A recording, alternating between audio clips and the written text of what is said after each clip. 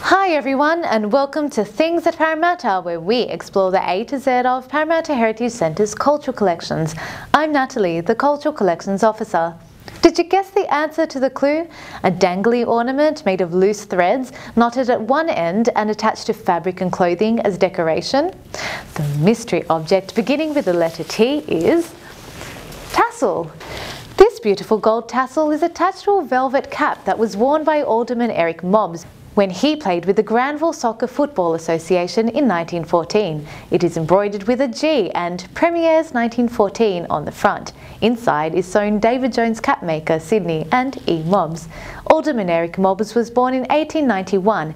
He was a member of the First Fleeters, a local personality and the very first mayor of the new city of Parramatta, serving from 1949 to 1953 and again in 1959.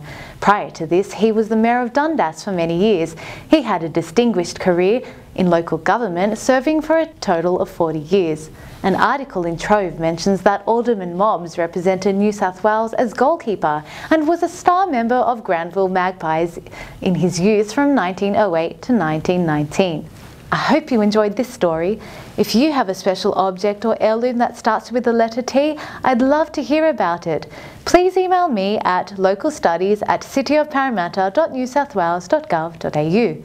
Your clue for the next mystery object starting with the letter U is distinctive clothing worn by members of the same organisation or school.